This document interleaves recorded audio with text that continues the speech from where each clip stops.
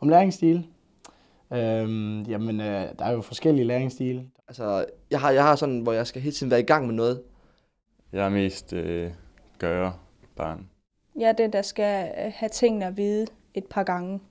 Jeg har brug for at, for at bevæge mig og komme i gang med noget, øh, i stedet for at bare sidde og kigge. For det, det får jeg meget mere ud. Det får jeg ikke noget ud af, men ved det andet, hvor jeg bevæger mig og laver noget, skriver, øh, der får jeg det bare meget bedre. Kan hurtigt lære det.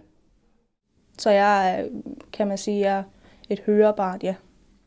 Det, at de har så meget fokus på læringsstilen, det gør jo, at du som elev bare, mm, du lærer jo bedre, fordi Det, det betyder for mig, det er, er at de tænker på, på den enkelte elev, og ikke kun øh, en klasse, kan man sige. Så øh, jeg tror sådan mere, at hvis de ikke havde det, så ville der være nogle stykker, der nok ville dumme ud, fordi at, at de simpelthen bare ikke har fået noget af det med det gør jo bare, at du som elev lærer meget mere, fordi du forstår mere, fordi du er mere mere i timerne.